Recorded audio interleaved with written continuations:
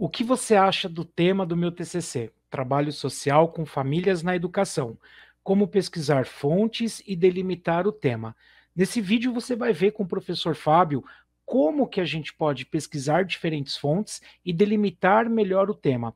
O exemplo, o trabalho social com famílias na educação, é só um exemplo. Adapte este exemplo à sua realidade e qualquer dúvida deixa aí nos comentários, vai ser um grande prazer poder ajudar. E assista esse vídeo até o final, porque lá no finzinho do vídeo tem um convite muito especial que vai sem dúvida ajudar 100% nos seus estudos uma opinião, eu estudo serviço social e desejo fazer meu TCC no seguinte tema: trabalho social com famílias na educação. Aí perguntou o que a gente acha. É complicado a gente achar é, em relação a temas de outras áreas.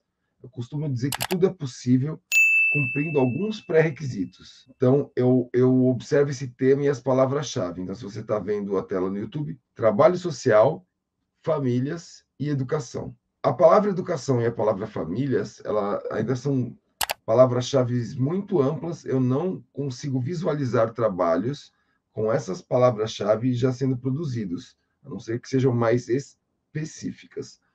Então, eu tentarei especificar. Mas, na dúvida, eu não estou fazendo a busca agora. Hoje eu não vou fazer isso. Tem dias que nós podemos fazer isso.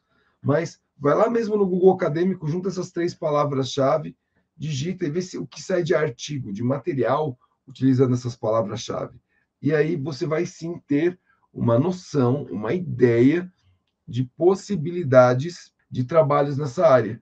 Inclusive, será que famílias é, tenho como especificar? A palavra educação eu tenho como especificar, porque essa palavra educação é extremamente ampla. Ou mesmo o trabalho social. Que tipo de trabalho social com famílias na educação? Vou dar um exemplo.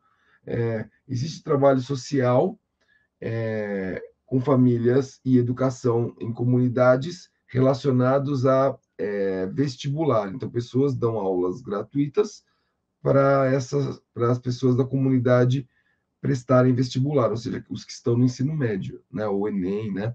É um tipo de trabalho, mas percebe como eu tive que fazer uma, um exercício e já foi por algo muito específico. Então, é importante sempre dessa observada. Você está fazendo um projeto de pesquisa e ainda está com muitas dúvidas?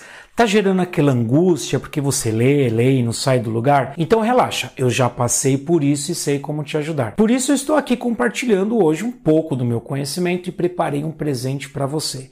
Construí uma sequência de vídeos com passo a passo para você sair com seu projeto de pesquisa pronto. É isso mesmo, seu projeto de pesquisa de forma bem simples e objetiva. Para saber mais, Clique no link que está aqui no card, nas descrições do vídeo e no primeiro comentário fixado e bora lá!